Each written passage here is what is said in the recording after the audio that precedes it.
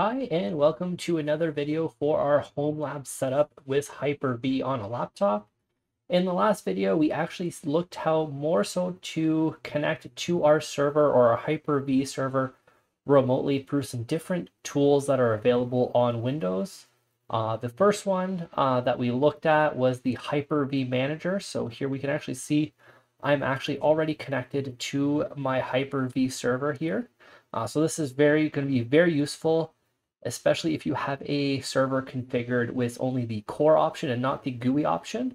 So of course we do always have the uh, the GUI interface through remote desktop, but if you do not have uh, the full desktop experience installed and you only have core installed, uh, this Hyper-V Manager is going to come in very, very handy, especially for this video. And then the other thing that we also looked at on the last video was the Windows Admin Center. And we can actually see right here, we're looking at that server and we're actually looking at the virtual switches right now. And we can also look at the virtual machines for this server as well, which currently we don't have any. That's what we're going to be creating today. Uh, so if you haven't seen that video, please be sure to check that out because we are going to be using the Hyper-V Manager today. Uh, then we can also check some things out with the Windows Admin Center. So let's go ahead and let's actually get started here. So one of the first things that we're going to be doing is creating our VM. We're going to be connecting it to our switch. We're going to be setting up the hard drive for it. And we're also going to be connecting our ISO to it and then going through the install of the operating system by hand. And then in future videos, we're actually going to be going ahead and looking to see how we can actually execute code directly on our VMs uh, without logging into them. So again, similar to PowerShell remoting as well. And we're also going to be eventually taking a look at desired state configuration to configure our servers and maintain that configuration throughout time uh, to make sure that there's no drift that happens. Uh, so let's go ahead and let's first get started by creating our session variable here. So we're going to go ahead and start some PowerShell remoting right away. So we're going to create that session variable to our new PS session. We're going to put in our computer name of JP Hype V 2022. And we're going to go ahead and we're going to put a credential here for administrator. And let's just go ahead and let's run that right away. Let me just put in my password here.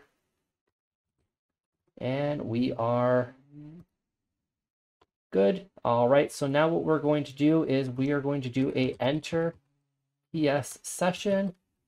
And we're going to put the session parameter. We're just going to put our session variable here. We're going to go ahead and we're going to enter in that right away.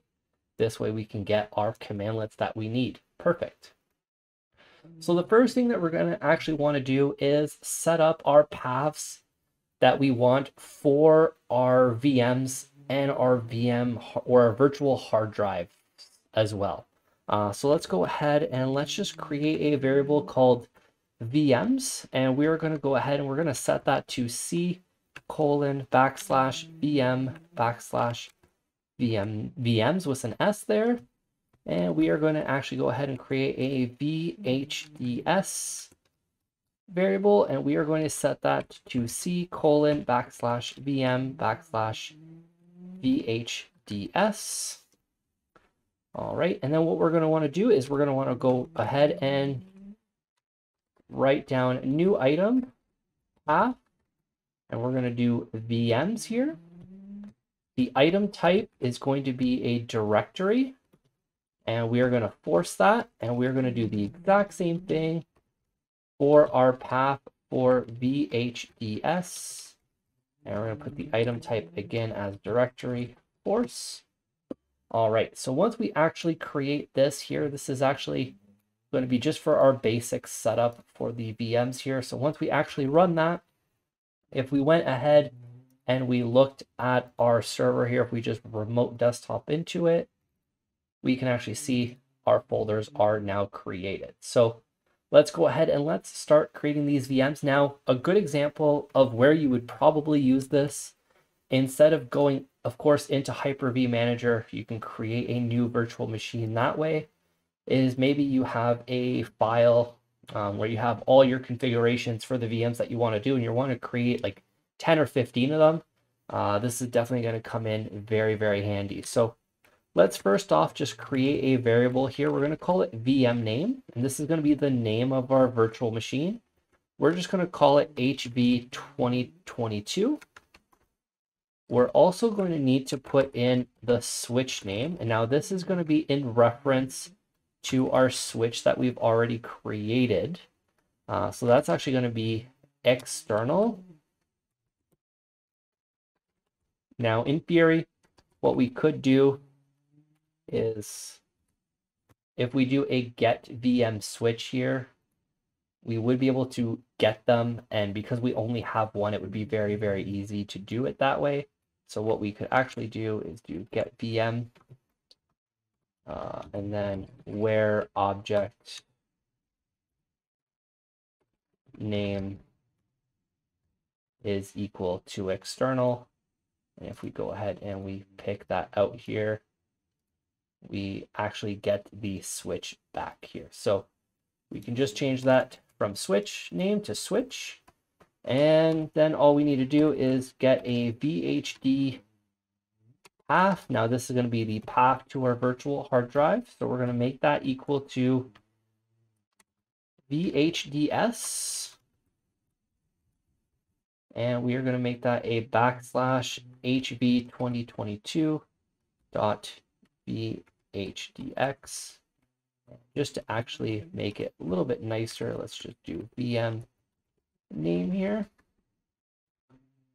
And then we are going to specify our ISO path. Now this is going to be the path to the ISO you want to install on your VM.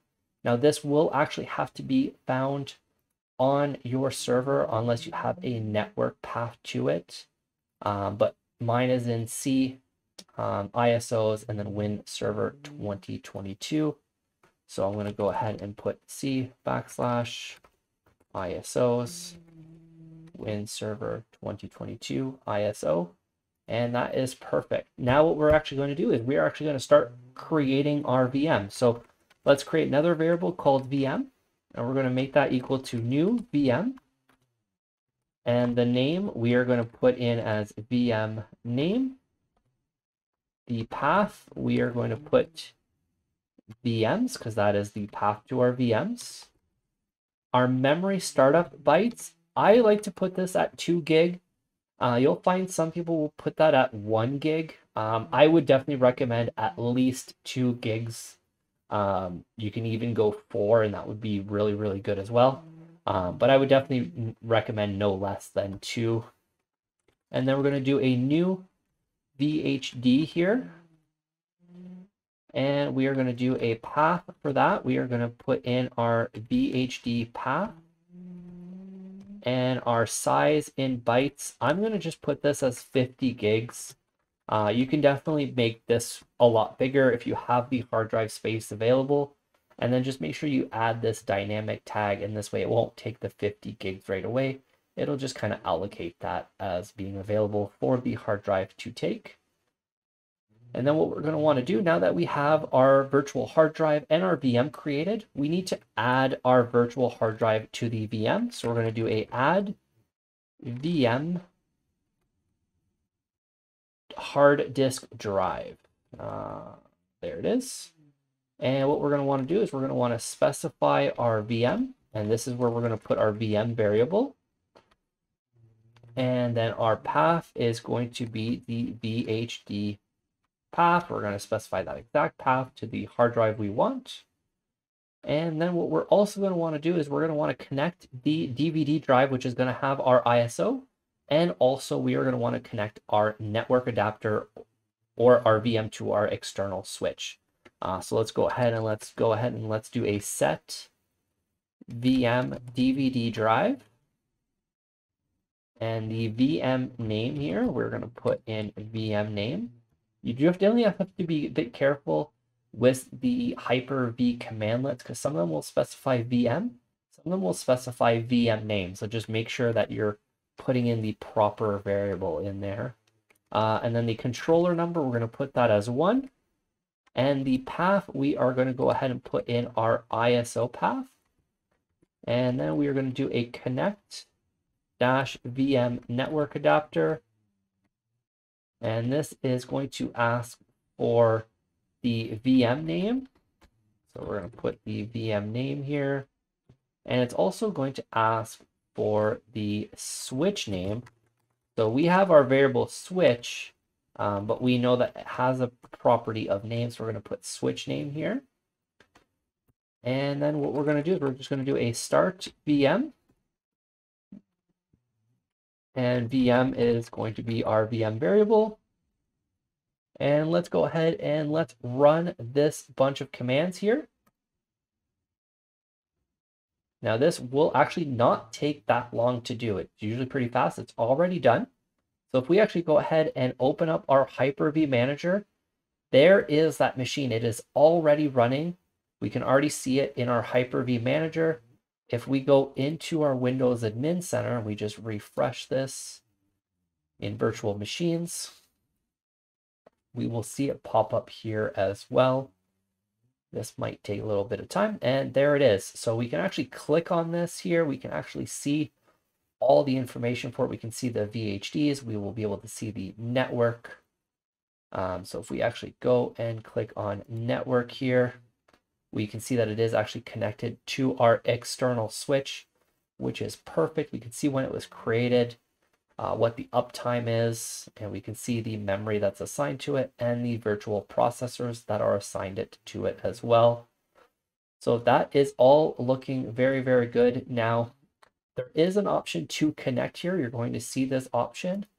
Now, you actually will not be able to connect to this VM right now uh, because there is actually no OS on it. Uh, we actually need to do that through the Hyper-V Manager. So once we have our Hyper-V Manager up here, all we're going to need to do is just double click on the VM that you want to go into.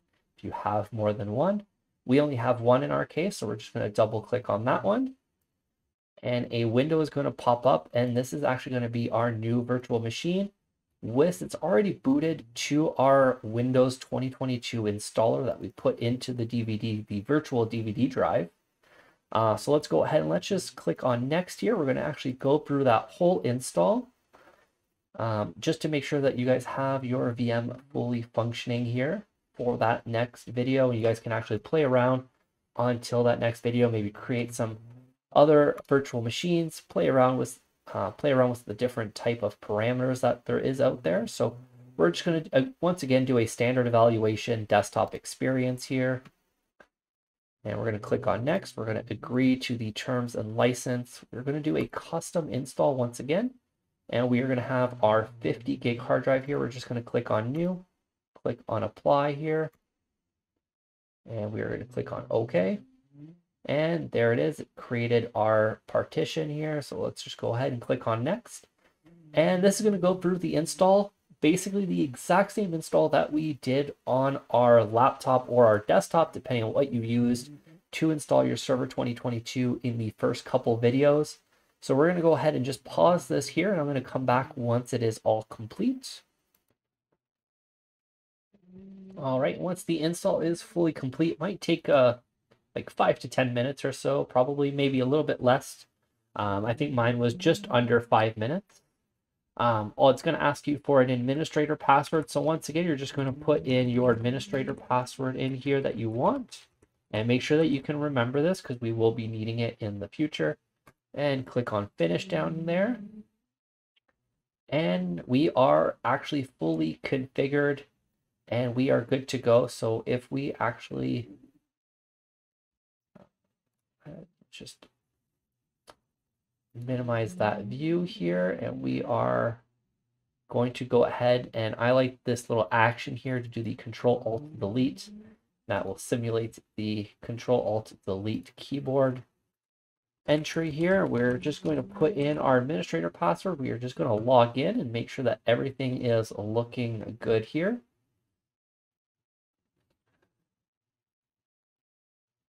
So again, this is completely running on our Windows 11 um, client here through the Hyper-V manager that is connected to our Hyper-V server. Uh, let's go ahead and let's click on yes here.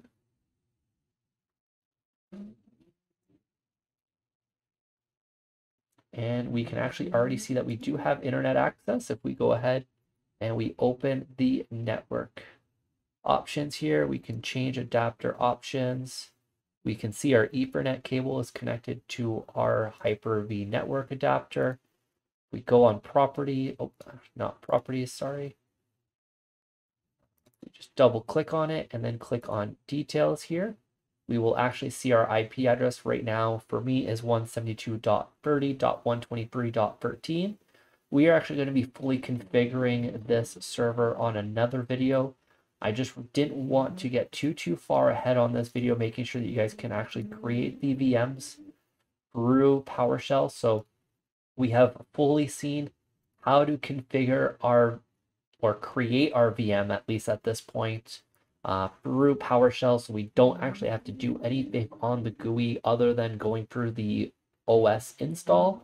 Uh, so that should all be good now. And in the next video, we're really going to get into configuring the VM, we can actually fully configure the networking um, as well through PowerShell remoting, kind of like what we did for our server. You can do it very easily for uh, the virtual machines as well. We're going to be going over that, and then we're going to be going over desired state configuration, uh, which is going to be very, very neat. Uh, we'll be able to make sure that services are installed, uh, make sure that certain files are in our system, and just make sure that all those things are there, are in place and then it will actually constantly monitor to make sure that those things are in place.